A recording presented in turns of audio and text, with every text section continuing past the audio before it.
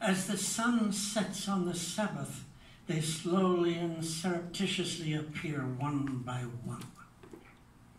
As the darkness descends, their outlines blur against the background and only show where the street lights struggle silently against the darkness.